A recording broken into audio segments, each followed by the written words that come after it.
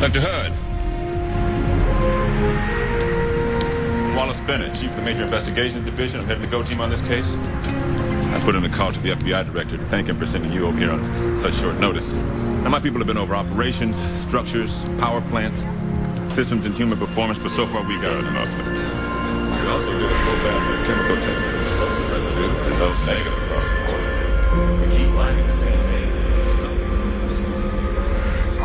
Dr. Hood, we, we need something. Hood? Dr. Hood? Did you hear a word I just said? Ice cream. Excuse me?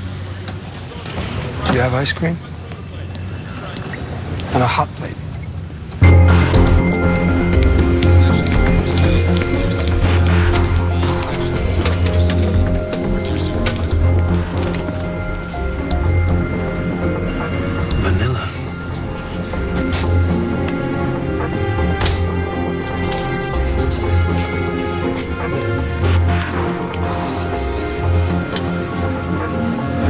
What the hell is this all about? Landing gear on this aircraft is directly adjacent to the engine, right? That's where they tend to put it. So, after a long flight, it's going to get very hot. You bring my entire investigation to a halt just to tell my people that engines get hot?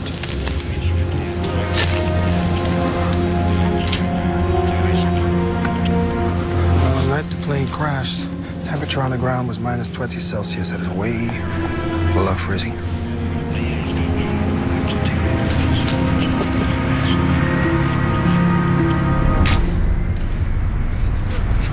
Shock fracture. Yep. We've tested the hydraulics in the landing gear for extremes, but not for rapid temperature change. I don't suppose the NTSB can help you get a new watch. Give you my damn Rolex. Oh, that won't be necessary.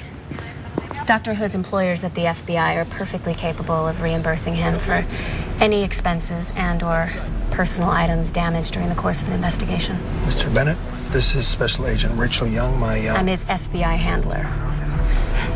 And we've got somewhere to be. Sir, a family in San Jose, California ate breakfast approximately 36 hours ago. And? And they've been paralyzed ever since.